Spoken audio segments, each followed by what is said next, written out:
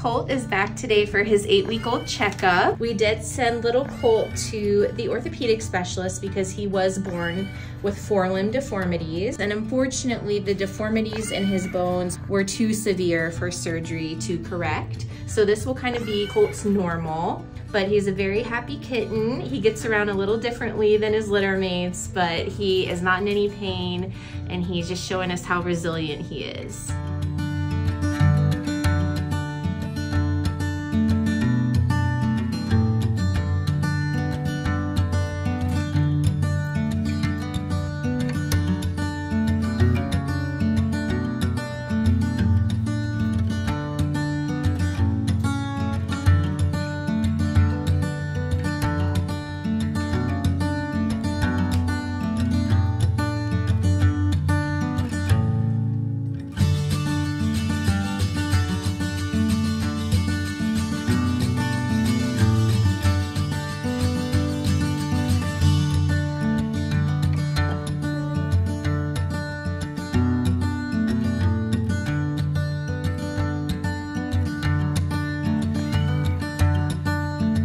Thank you.